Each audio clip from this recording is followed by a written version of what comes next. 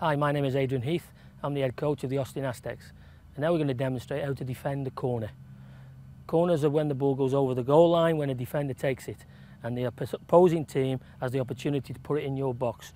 So if you could put the ball in the box, Carlos, you can see we've got a goalkeeper in Craig. And there's the goalkeeper coming in, catching it and throw it back.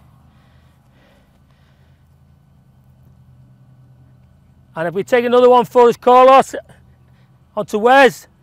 So that's the goalkeeper coming and de dealing with the cross because it's in, in his area. And now the ball's gone out and the defender comes and clears it. Lovely safe contact, didn't swipe at the ball, got behind it and cleared the penalty area. This is the most important area of the pitch to defend to try and keep goals against. If we could go through it again, if your goalkeeper can come and get the ball, which is fantastic, like that, that alleviates all the problems and then we go up the pitch and then we can start to attack again. Or if the ball comes a little bit further out, Wes will demonstrate how to defend this. So you tack it Wes, and out it goes and clears his lines and we all get set again and that's how to defend the corner.